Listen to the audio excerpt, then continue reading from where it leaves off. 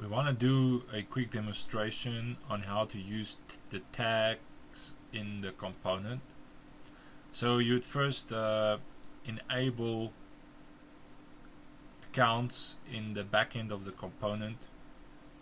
And then once you've enabled the account settings next to that there is a place to set up your tags.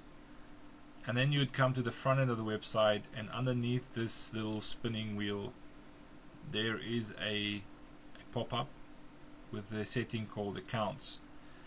And in the account area you could set up two menu items one for login and one for sign up. Uh, and uh, since I already have an account I'm going to click on login. And then you just log into your Joomla website as normal. If you already have an account and you have made previous bookmarks and tags and you're in a browser where those bookmarks have not been done then it will give you this pop-up if you go to the app page first time you open it. Um, and it will ask you what do you want to do. Now since I know that I already have an account and that that user has many bookmarks and tags I would say re replace the browser highlights um, which will then take as it says there it will replace the browser highlights with the current account highlights.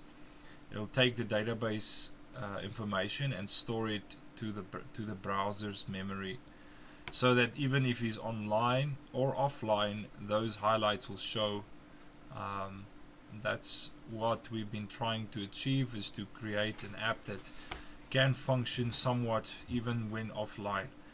Um, it's not fully completed yet still in progress but this is how far we've uh, been able to get. If there's any of you that would like to take it further um, you can certainly communicate with me. Uh, replace browser highlights. This would then as you see add all the highlights and tags uh, that uh, that this user already has made in the past. Now you'd see that there's a little tag next to some verses which means that they already have tags. Um, if you want to add a tag to a verse that doesn't have one you would click on any verse like this on the number of course and then you can just type in this box whatever tag you want. So let's say life and enter. And um, that is now a tag. And you can add that to other uh, verses as well. So here you can add a note and we can say uh, what does the verse say? And of his fullness we have received grace for grace. Wonderful life. Okay. Wonderful life. And submit. Now you can see there's the note and there's the tag. If you want to see a, a, bunch of verses that have been tagged together. You'd open one like this and we have a tag called born again and you simply click on the tag and it will open a page with all those tags that you've made over this uh, now on this page you have the option to print and to email this whole page to someone or to print it out. If you go to the app page again another way to get to tags is to click on this spinning wheel here. And you now see a button here called tags. And there's a whole list of tags. Um, inactive tags and inactive defaults. You see the system can also have default tags which you can use. Um, so if we were to click on any of these tags like God is omnipotent um, it will bring up the verses that you've tagged with that tag and uh, it will show it. And so if you click on email it will simply ask you for an email address. So I would say info at getbible.net and send. And it will give you a little notice here that its email was sent successfully and I can go and show you how that email will look like. So here is the email I received from uh, from getBible.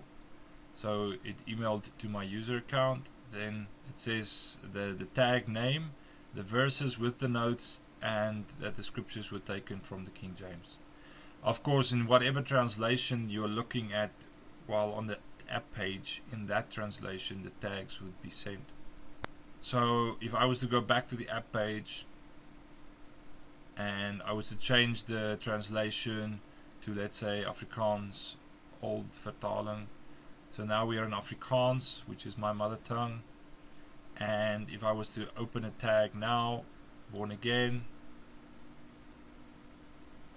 you'd see that all the scripture here is now in Afrikaans. And if I was to click on this email it and and our and send it will send it to me in this in this language. You can also print it out. So this will open up a printing dialog and you can simply print this. And we have made efforts to ensure that the styles are handled correctly with the printer okay so that's how you would add a tag to any verse anywhere and actually tag certain verses with the same tag. Just wanted to demonstrate that quickly. If we take this number six here and I were to start typing born you'd see that other tags that already exist would start showing up baptism and born. And you could just then click on the one you like. Um, we have an hide notes and hide option as well if you anywhere open at this dialog and you clicked on this hide of tags um, so if I was to click here remove that clear that submit um, okay now open here. And if I click hide you'd see there in the background it hid it and this will also hide all notes everywhere on all pages. So if you want to take that away if you want to have it show again then just come and show in any of these pop-ups you can control it in that way. So I hope you can from this demonstration uh, get your hands around this nice feature. Unfortunately this feature is only available to to those who have an account on your website. We are storing the data in the database and it's very hard for us to identify the person who makes the tags if we don't have an ID so sorry it's not it's not available like the bookmarks to the front end of, of the component. You must have an account to make use of the tags. And that's why if you don't have the account setup feature enabled then tags as a whole do not does not function in getBible. Thank you for watching